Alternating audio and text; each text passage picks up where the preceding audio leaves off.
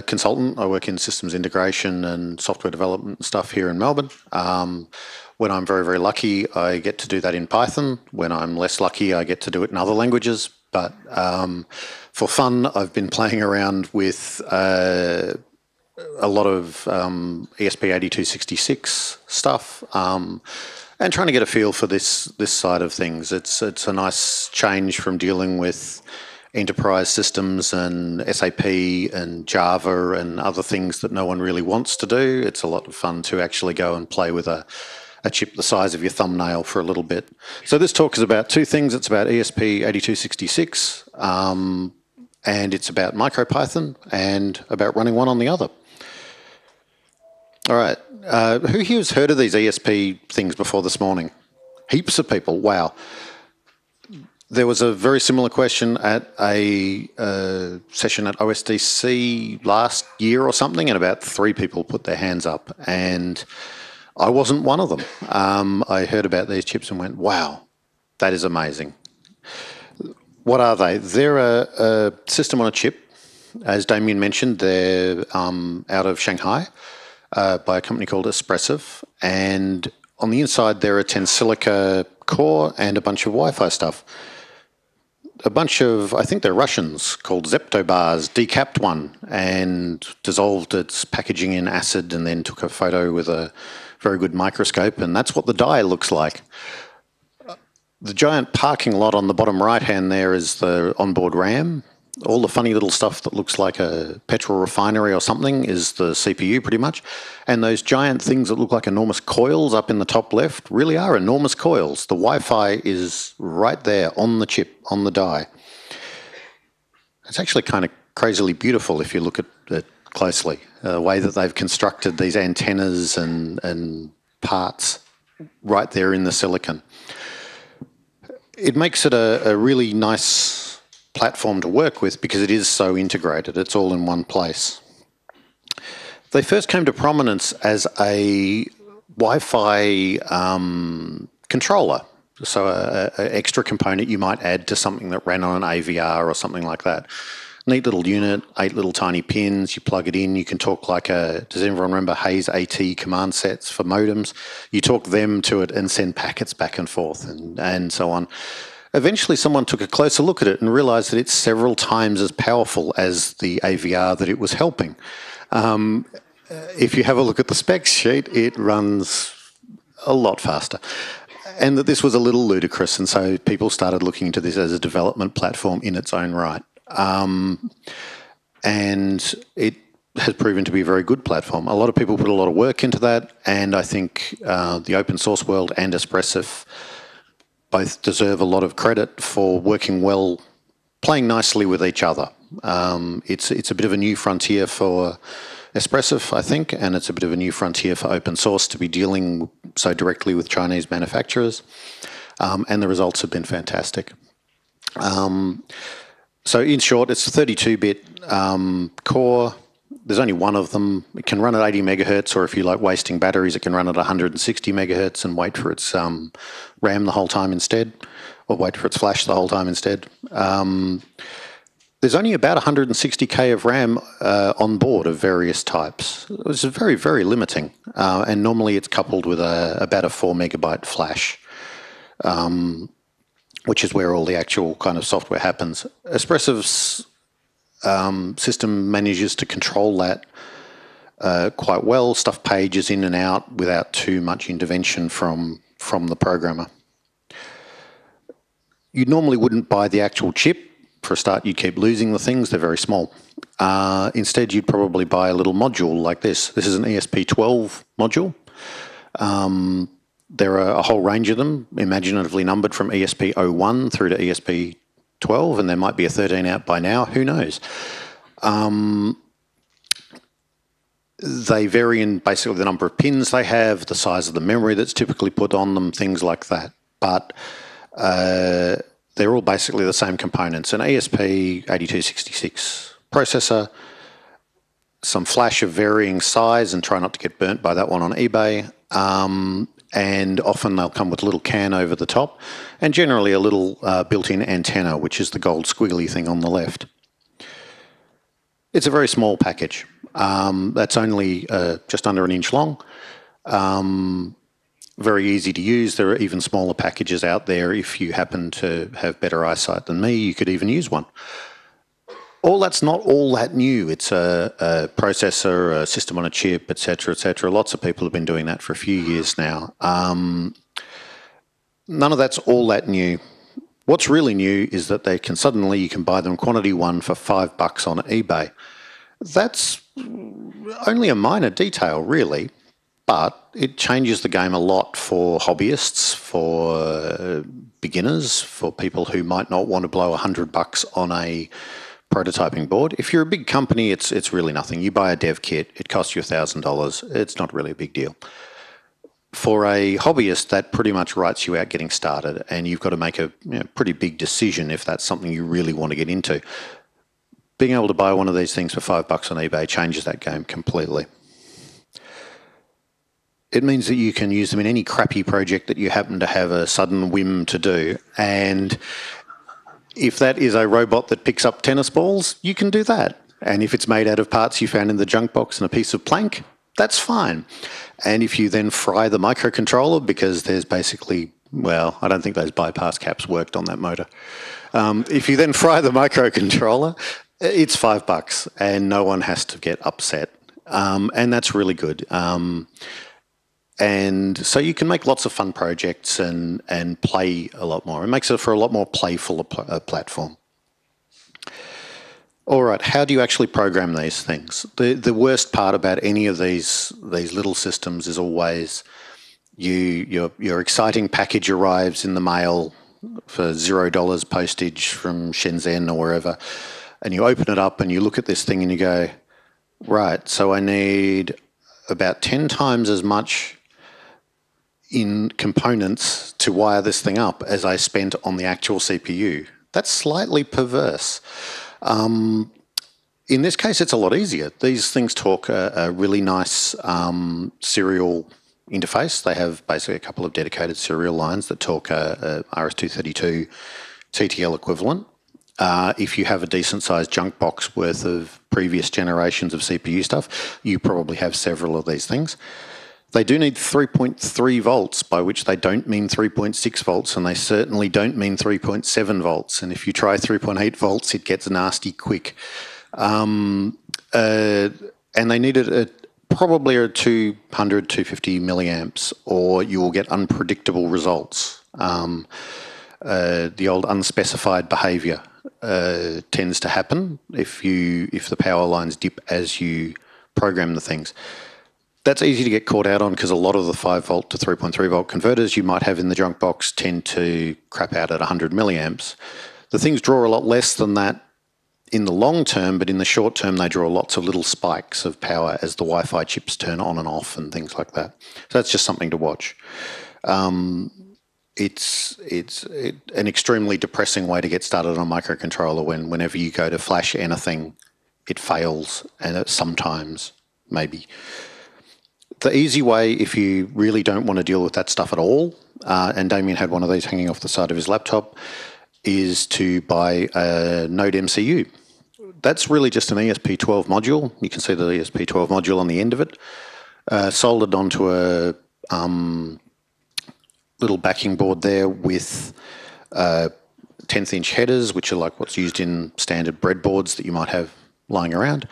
And on board is a 3.3 volt converter, which is handy, and a USB to UART converter. So that's really handy too. That's all wired up for you. There's also a couple of tricky little transistors that mean the thing can automatically reset itself, put itself into flash mode, all of that sort of stuff.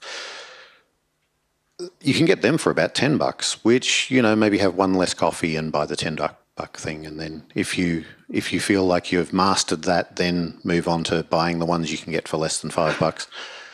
The um, it's a very handy little piece of hardware.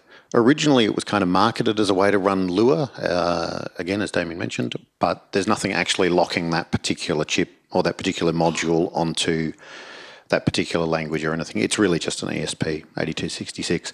The one time that module gets annoying is if you actually want to use the UART for yourself, um, because it's kind of tied up directly to the USB port. So they're very, very handy little units. You, of course, also need some software. Um, you need to somehow push code on to the chip. You need to tell it go reset yourself, put yourself into flash mode, etc. There's a handy little lump of Python called ESP tool that does that. Um, and really, all you need to do is grab it from GitHub and run it, and it will put binaries straight onto the device for you. Uh, is now available as a binary that you can just download. Um, so you can skip the following steps if your interest is purely into into MicroPython and not say into using MicroPython as opposed to working on it or changing it or uh, writing new parts of it and stuff like that. You can just grab the MicroPython binary, download it onto the chip. But if you are interested in taking the, the covers off MicroPython a bit, you'll need to get a few more things.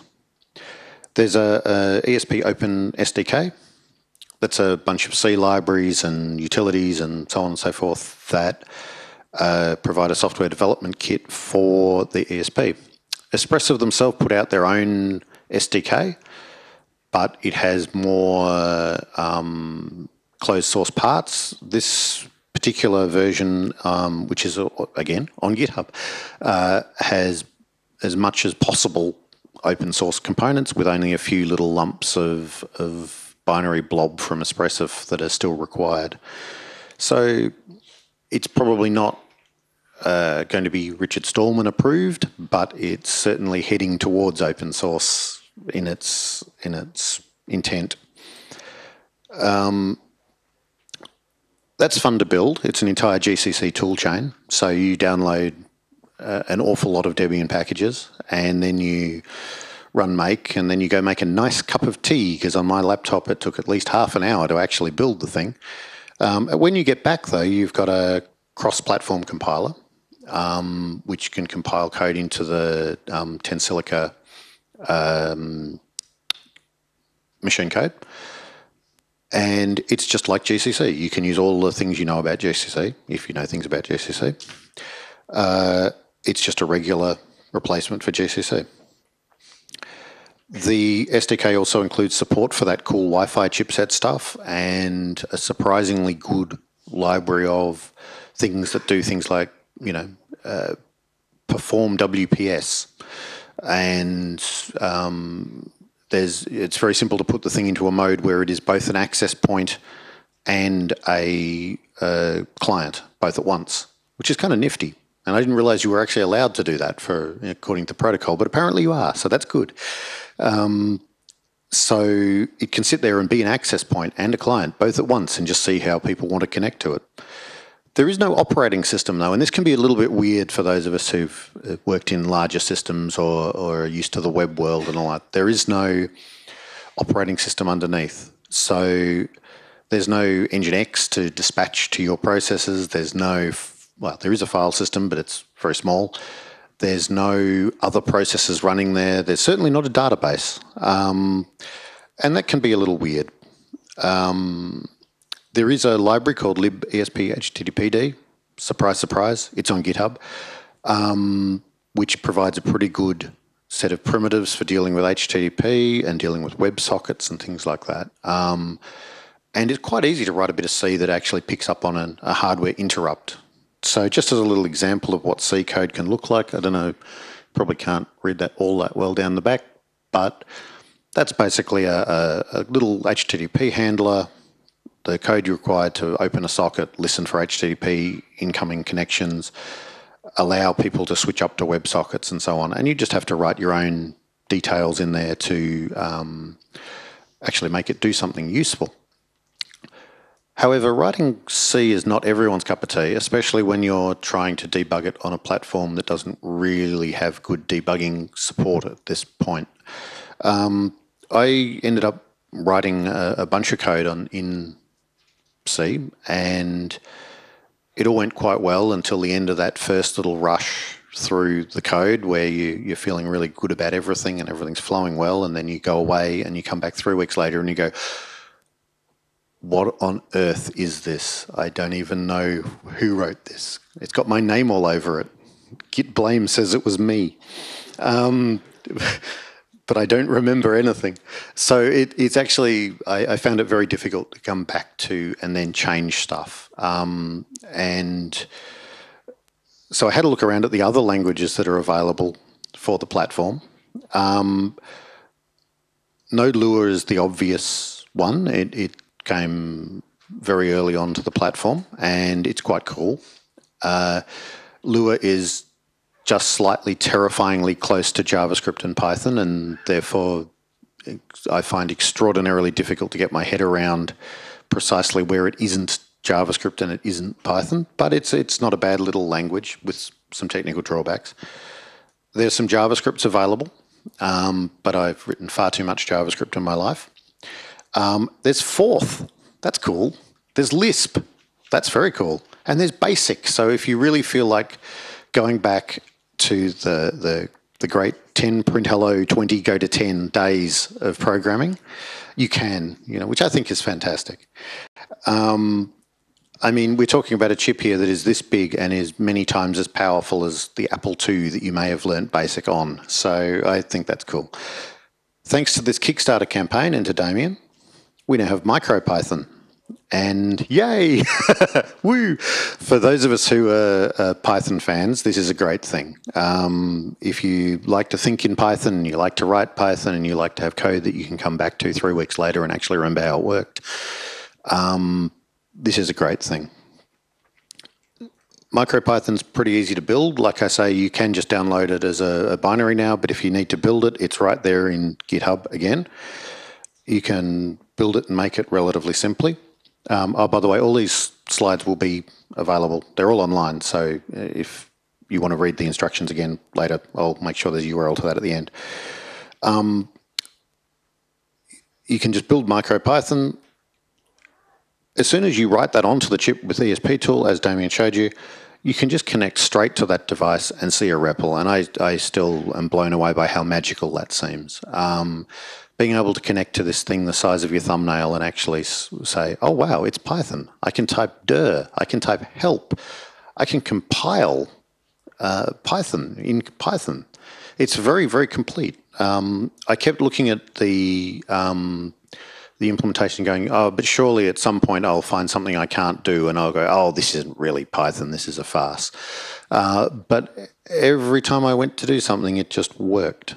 Um,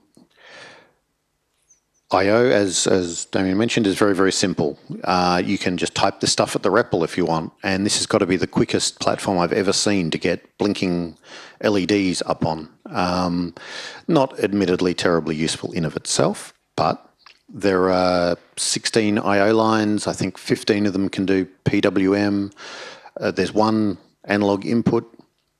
None of this stuff is greatly luxurious if you're used to like an AVR platform or something like this. It's relatively small number of I/O lines, but it's a good start. You can make a really good start on a servo-driven robot or something like that just by soldering things directly to the pins because the PWM is good enough to drive, say, servo motors.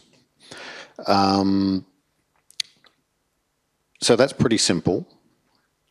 The Wi-Fi, again, as Damien mentioned, is very, very simple to set up. There's a bunch of, of libraries wrapping it in Python. So you can very easily connect up to Wi-Fi and there's the equivalent to B and AP so people can connect to you. Um, sockets, again, about as simple as you can get.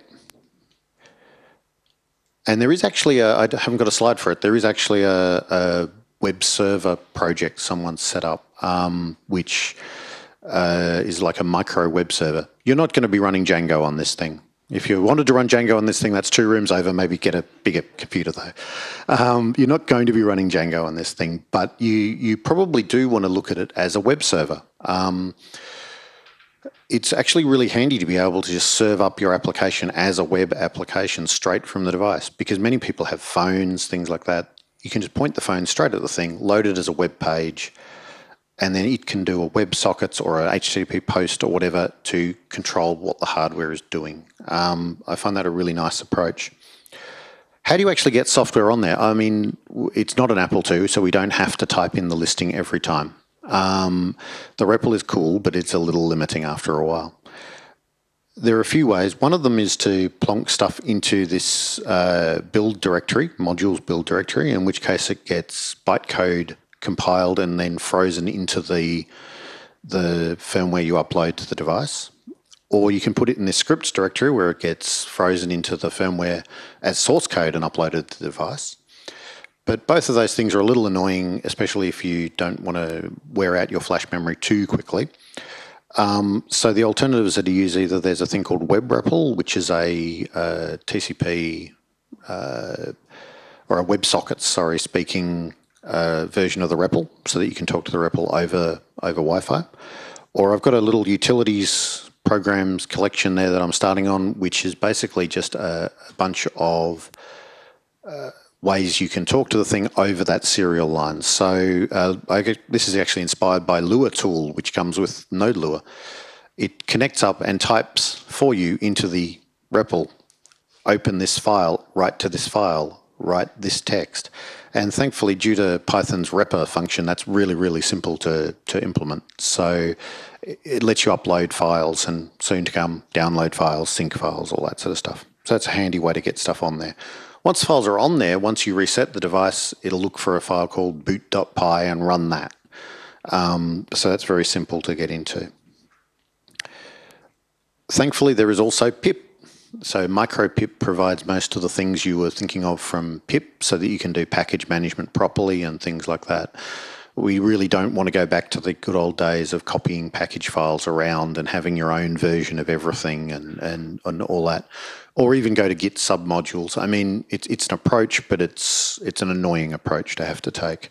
So micropip is there and it, it seems to work fairly well. As Damien mentioned as well, the not all packages will work with MicroPython. Um, the biggest constraint, I think, is probably this amount of RAM you have available not much. Uh, a lot of code is optimized very heavily these days to use as much RAM as possible, as often as possible. If you're sitting down to write something and you want it to go fast, mostly what you do in a big CPU is you pull everything into RAM first, right? cache everything. If you've got a file, oh yeah, it's a giga file. Oh, load it into RAM. Why not? I might have to serve it up several times. That'll be quicker in the long run, right? This thing's got 32 gig of RAM on it. It's fine. This thing doesn't. So uh, you probably don't want to do that. And a lot of libraries make this assumption. I should cache things. I should do that without ever kind of checking how much RAM is actually available. So that's a bit of a challenge, but the, the MicroPython packages should hopefully uh, make up for that by basically having the same code with a, um, a more memory conserving bent, accepting that it'll go a little slower. It's an 80 megahertz microcontroller but it will work. Um, the other way I didn't mention in that previous list was actually to to write your own modules, and I was actually uh, very pleased to see looking around in the MicroPython source code. There's a whole bunch of C files looking suspicious and called things like, you know, mod sys and mod machine and things like that that correspond to the things you can import. And I was very pleased to see that they're actually fairly understandable C code. Um, and so that's worth considering if you've got a, a, need on this, if you've got a desire to run Python on this chip, but a need to do stuff that has to run quick, it's worth thinking about whether you can make the bit that has to run quick as a C library, as a mod something in MicroPython. And of course, it's worth considering whether you should be releasing that on MicroPython's package management. What doesn't it come with? It doesn't come with an operating system, as I mentioned before. That means there's a lot of things you just don't have. It doesn't have multiprocessing. So if you're used to the idea that your code has to run in a very linear way and that you'll fork off a, a thread or a process or whatever to handle your web request, uh, you've got a bit of a nasty surprise in store. Um, but that being said, it does do coroutines uh, there is a U async. Uh, so as long as you're willing to deal with the fact that your code will run asynchronously and in multiple threads, that's okay. There's not much memory to play with, as I mentioned. What I think the biggest thing it's missing at the moment is a way to remotely connect up uh, PDB or equivalent as for a remote debugger. Um, you can debug on it doing lots of, of um, print statements, sorry, print functions, it's Python 3 um, print functions and uh, lots of stack traces and so on and so forth. And that's fine, but it's not somewhere I enjoy going. So I'd love to see, and, and we'll hopefully get to contribute to a, a Python debugger uh, attachment port, basically. All right, uh, got a couple of minutes. So I just wanted to mention a little hobby horse project. This is what got me excited about ESP8266s in the first place, is uh, um, educational programming purposes for them. They're very, very cheap. They're very, very simple. They're a great platform for um, teaching programming on. So I was playing around with this idea of how do you teach programming. And one of the things I'd thought about was getting rid of variables entirely because I found my kids had a lot of trouble getting their heads around variables. Um, and I started looking at data flow architectures, which don't really have variables, they're just data flows from place to place. And I started looking at having a graphical programming language for that and so on. I've ended up implementing this on the ESP8266, and I implemented it the first time around in C. And then I discovered that was far too much like hard work, and I wasn't really doing this for hard work. So I re-implemented it in MicroPython in a couple of days. And what it does is it offers you up first a web page, which has a whole bunch of JavaScript in it, and lets you manipulate these things on the screen. And then what it does is it compiles that down to Python. And one of the things that MicroPython does include is the compile function from Python. So rather than run a virtual machine or anything like that, which is what I had to do in C, it just takes this program that you've written by connecting the bo boxes with lines, turns it into Python, compiles that Python, and runs it in Python on a microcontroller. And I just think that's fantastic that you can actually get away with doing that on such a tiny, tiny platform. You can get away with having that kind of meta programming approach, and it just works. Um, the the end result is that the code base is incredibly simple, and my favorite thing about it is it means that if you kind of grow out of playing around with the toy graphical programming language, there's a very, very direct route to go from there to actually programming real Python. You can take the thing you drew in this little sketch, hey, it's a Python program, I can just run it directly instead. So that's just an example of, of, I guess, what I've been working with on this platform. All right, in summary, if you're interested in microcontrollers, Internet of Things, robotics, anything in those general directions, well, ESP8266 is currently about the cheapest way you can possibly get into that. And if you're interested in that stuff, MicroPython has got to be about the easiest way you can get into that stuff. So I think they go fantastically together. All right.